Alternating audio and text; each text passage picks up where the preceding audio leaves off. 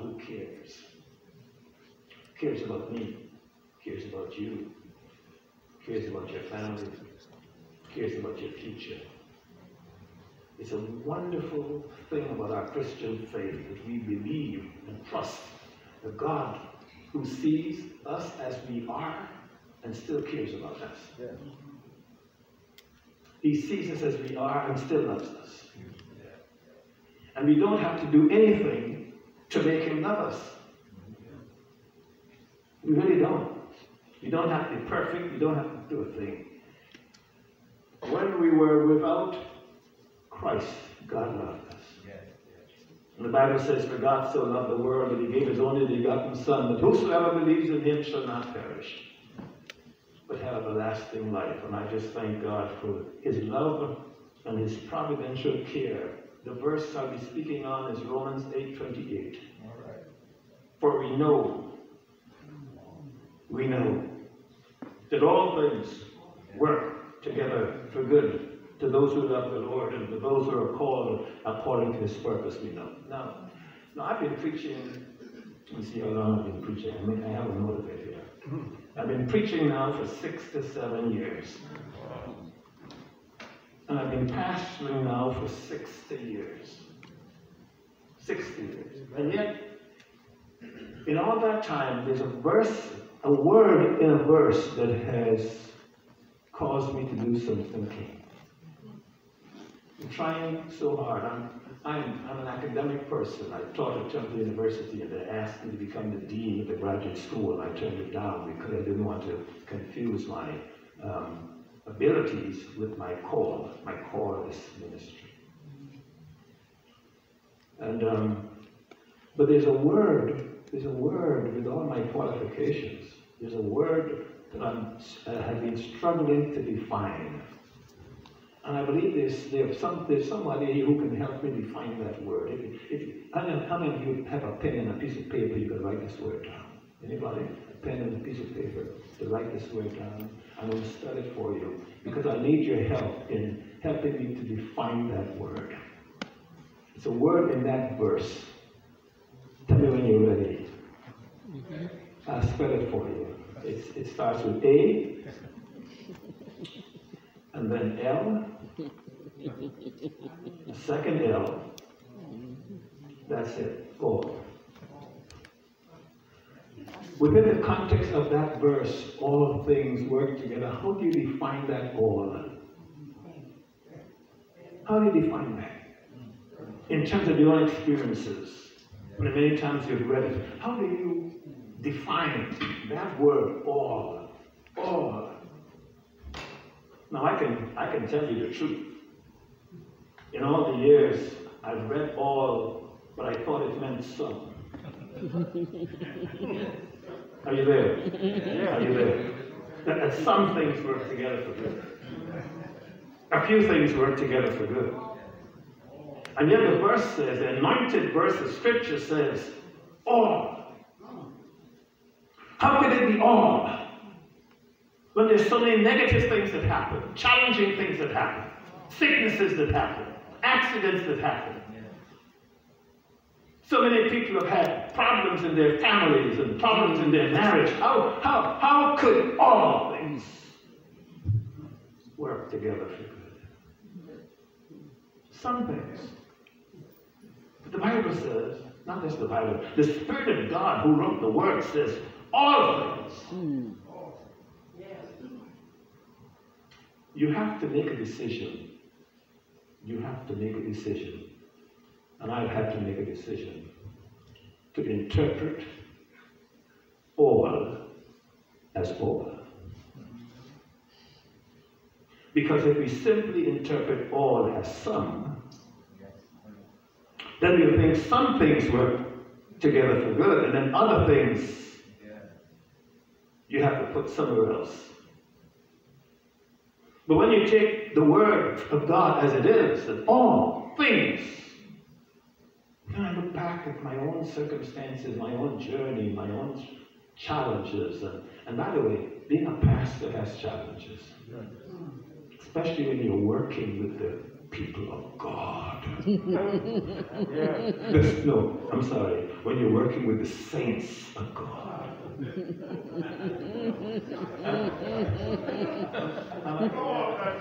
when you work with the saints of God, you have challenges. And this is and this is spiritual work. This is not secular work. You expect those in secular work, but when you when you're dealing with the saints of the Most High, the Bible says all things, all things work. Now, it also says that all things work. The word work. You can't work if you don't have a job. True or false?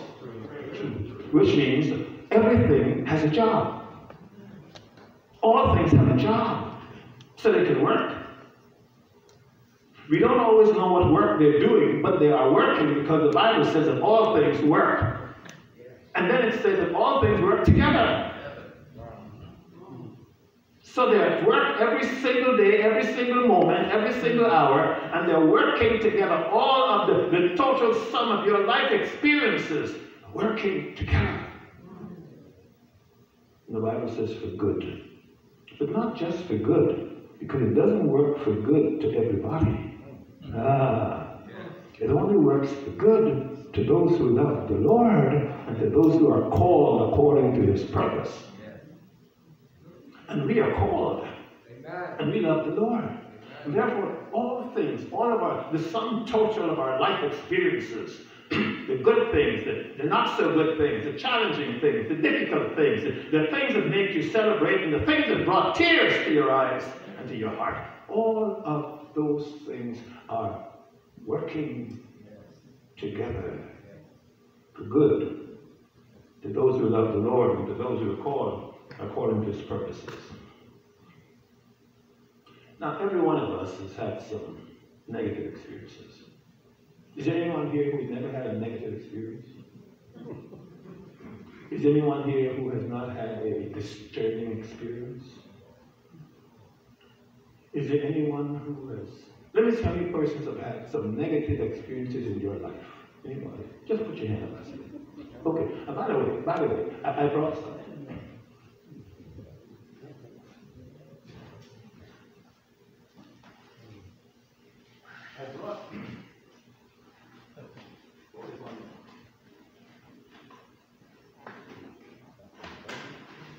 I brought a container for the negative experiences. If you can think of some negative experiences you've had, just throw them in this bucket. Man, this thing is full. it's full, it's full, it's full. The negative, we all have, we've all had negative experiences, painful experiences, challenging experiences, and sometimes experiences people we don't expect to happen. True or false? True. Put them all. You put them all in here. At my age, I've had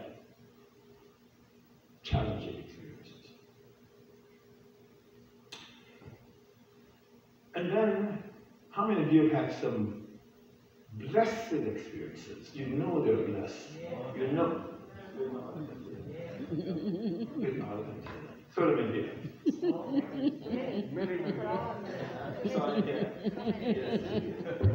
It's in here. The negative ones are here. The blessings are there. And both of them tend to make us. Both of them tend to shape shape us. Let me give you my own story, part of my own story. I got saved in the Church of God when I was 11 years old. And I got knitted. See, it's one thing to be saved in, but to be knitted into the fabric of it. I got knitted into the fabric of the Church of God when I was 11 and I went to vacation Bible school and we all were in a classroom, and to my surprise, the pastor was teaching the children ages 9 to 12. I've never seen a pastor teaching the children age 12. Pastors tend to teach the adults. But he was teaching the children ages 9 to 12. I was 11, so I was in his class. And we had handwork to do. And then he saw me doing nothing. He says, What are you doing? I said, I'm doing nothing. I'm finished. He said, You're finished? All the other kids are doing this and you're finished? He said, But if you're finished, why don't you come and be my helper? Wow. Imagine an 11 year old boy being invited to become the pastor's helper. His helper. One sentence. If you're finished, come and be my helper. That one sentence changed my life, changed my vision of myself. I left there feeling I'm the pastor's helper. I am I'm somebody. Five minutes before that, I was nobody. But right now, I am somebody. I'm the pastor's helper. Yeah, yeah. I became his helper, helper at age 11. At age 11. Age 11. He had no idea that that little boy who he invited to be his helper would one day succeed him as pastor of that church. He had no idea. He elevated me in my mind, in my vision of myself. He knitted me into his life and his, his family's life. And I remember one day he began preaching about tithing. I, I, I, couldn't figure out what tithing meant. I couldn't even spell the word. It doesn't, it doesn't spell the way it sounds, you know. and I realized it had to do with money. And I saw him in the, in the, in the sanctuary one day and I said, Pastor, I don't have any money to tithe. I don't have any money to tithe. But I have an idea. I go to school from Monday to Friday. I'm free on Saturdays. I will come to your house and do whatever work you and your wife want me to do as my tithe.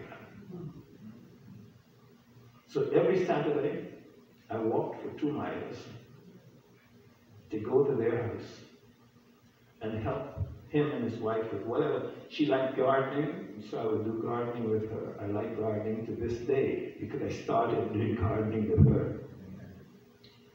I would pack books to ship out to different churches in different parts of the country.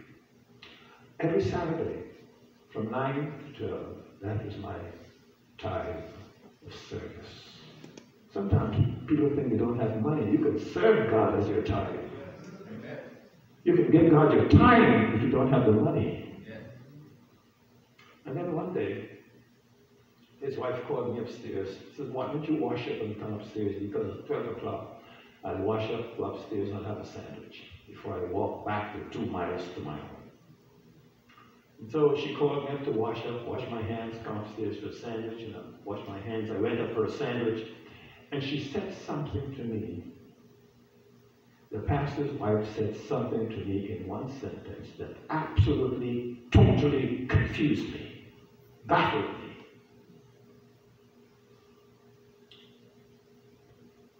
She said, she used to call her husband daddy.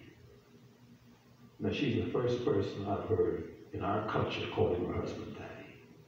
But I guess the children called him daddy, she called him daddy. She says, Daddy and I, she says, Milton, Daddy and I can't wait to attend your graduation from college. I choked. I was eating a sandwich and I choked. Because college? College? College is for smart people. College is for bright people. College is not for people like me. I've never known a single person in my family who went to college. Nobody ever mentioned college to me. College was not part of my vocabulary. It wasn't part of my thinking. But she stunned me when she said that. And I remember after I left their home, walking back to my house, the two miles, I keep saying, how could she, an intelligent woman, think of me like a college? That's for smart people. But you know, that one sentence gave me a new perspective of myself. I said, she thinks it. If she thinks it, then I'm going to work very hard. I'm going to try to get afternoon lessons because she believes I could go to college. She believes I could go to college. I brought her to Philadelphia a number of years ago.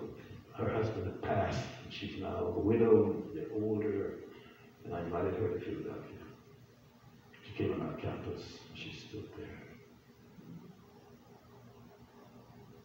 She stood there. And then I walked her to another building which is named after Smith. Her name was Smith, Smith Hall. She stood there. And then she came back another time and she brought her grown up children to see a campus see Smith Hall. And I'm quite sure she was remembering that one sentence. Oh, by the way, at that time, I was also teaching in the graduate school at Temple University. The same boy who could never have imagined that he could go to college ended up teaching in the graduate school of Temple University.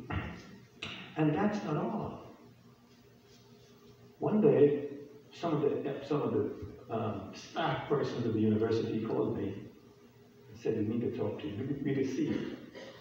And so I went into the meeting. And they said, We have decided to offer you a position in this university. A position? Yes. We decided to offer you the position of Dean of the Graduate School of Education. Me? Dean of the Graduate School of Education? I didn't accept it. Just the other day, my son was talking to me about it. He said, Dad, why didn't you, why didn't you accept it? And I said, I didn't accept it because I didn't want my interest in education to compete with my purpose in life. My purpose in life is what God called me to. And that's what I'm sticking with. But I'm just trying to say, sometimes a single sentence at the right moment Amen. can change a person's life. Amen. And so we have we have the which basket was this one? Which bucket was this one? This is the good things. and, and, and, which basket was this one? Let me give you another illustration. I was 14 years old. When my mother, first of all, I used to get a beating every Sunday night for having gone to church. Every Sunday night. I had lost my vision in this eye because of all the slaps I got into my face as a child for going to church. I was 14, and my mother said, All you have on your mind is church, church. Go and live in the church. I was put out. And I became homeless. I had all of my personal belongings, my school books, my Bible, and my hymnal in a pillowcase across my back. And I remember walking and walking and sitting by a stream across from a cemetery. And I began to sing all the way my Savior leads me. What have I to ask beside? Can I doubt His tender mercy who through life has been my guide? Heavenly peace, divinest comfort, hear my faith in Him to dwell, for I know wherever He follows me. How do you get it? What? Jesus. Jesus doeth all things well. All things well. Amen. All things well. So then what do I do? Based on all things work together for good, and that Jesus doeth all things well, what do I do with these two containers? Which container is this one? huh? the blessings. And what contains this one? Challenges. So how do I harmonize that? Based on what the Bible says, I take all the challenges in this bucket and I pour them all in the mm. blessings bucket because all things. Amen. Amen. All things. Amen. We tend to keep the two buckets separate.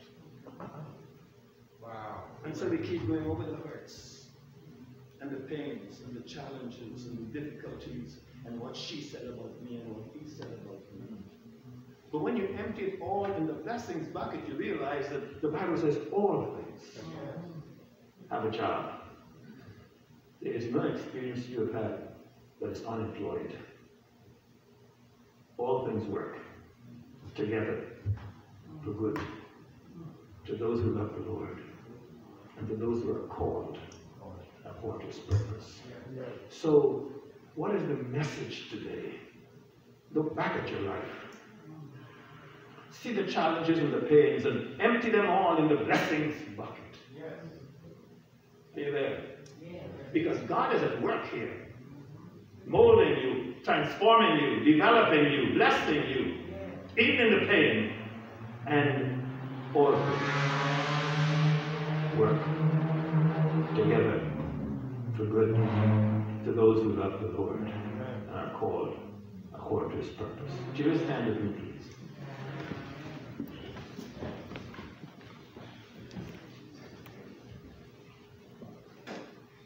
Regardless of the pains that you have experienced, challenges you've experienced, the misunderstandings, even in some cases the abuse,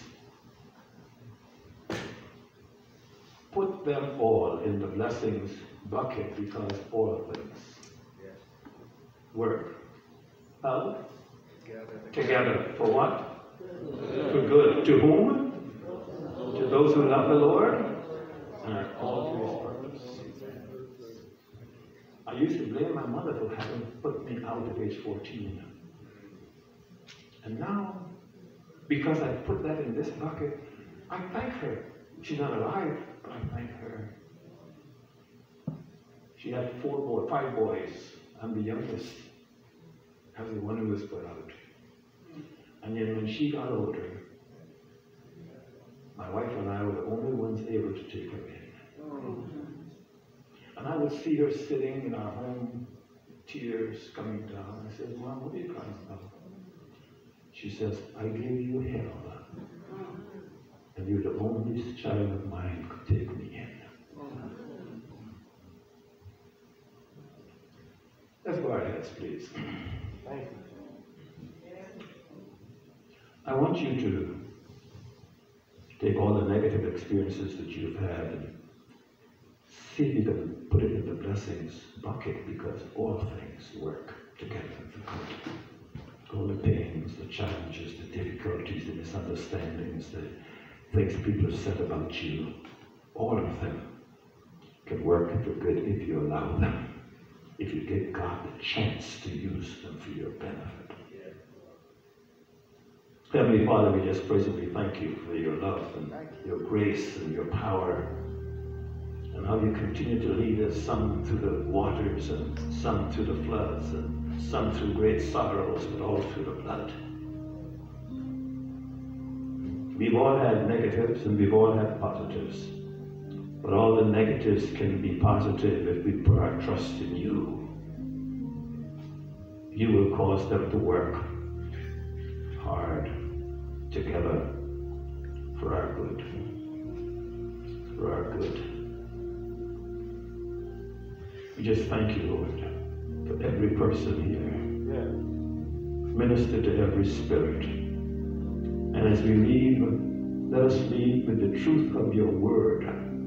Romans 8.28, that all, not some, all things can work for good if we love you.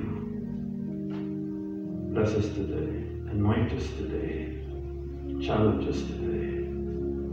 We ask in the name of the Father, the Son, and the Holy Spirit. Amen. Amen.